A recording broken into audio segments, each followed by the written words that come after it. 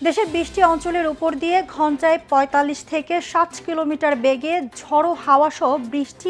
প্রিয় দর্শক, তাপদহন আর গরমের পর এবার শুরু হতে যাচ্ছে বৃষ্টি। শুধু বৃষ্টিই নয়, বৃষ্টির সাথে আছে ঘূর্ণিঝড়। দেশে দুটি অঞ্চলের ওপর দিয়ে ঘন্টায় পঁয়তাল্লিশ থেকে ষাট কিলোমিটার বেগে জোরো হাওয়া সহ বৃষ্টি ও বজ্রবৃষ্টি হতে পারে। এসব এলাকার নদীবন্দরগুলো দুই নম্বর সতর্কতা সংকেত। আমি আবারও বলছি, দুই নম্বর সতর্কতা সংকেত দেখাতে বলা হয়েছে।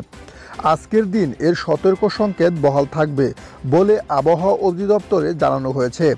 দেশের তিনটি বিভাগে মুসুলধারে ঝড় বৃষ্টির পূর্বাভাস দিয়েছে আবহাওয়া অধিদপ্তর। রাজশাহী, খুলনা ও বরিশাল এর জন্য আর আভাস দিয়েছে সংস্থাটি।